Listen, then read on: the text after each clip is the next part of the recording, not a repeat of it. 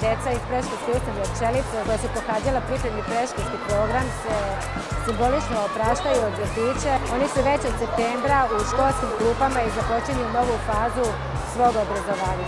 Ovo je zaista, kao što vidite, jedan veličanstven događaj, vrlo emotivan kako za djecu i roditelje, tako i za sve nas koji radimo u preškolskoj ustanovi.